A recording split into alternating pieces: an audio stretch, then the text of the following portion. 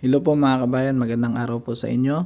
Ito pong video na to kabayan na isang mabilisang idea lamang po kung paano po ginagawa yung formworks para po sa sa beam po sa taas mga kabayan. So at least po magkaroon po kayo ng idea kung paano po siya actual in-execute po sa site sa pagputol po ng mga plywood mga kabayan hanggang sa pag-install po. So sana po may makuna, makuha po kayong idea sa video na to at uh, wag nyo na rin pong kalimutan na i-subscribe po yung small channel namin mga kabayan para po para pa po sa mga susunod na update mga kabayan sa aming dream house po. Maraming maraming salamat. God bless.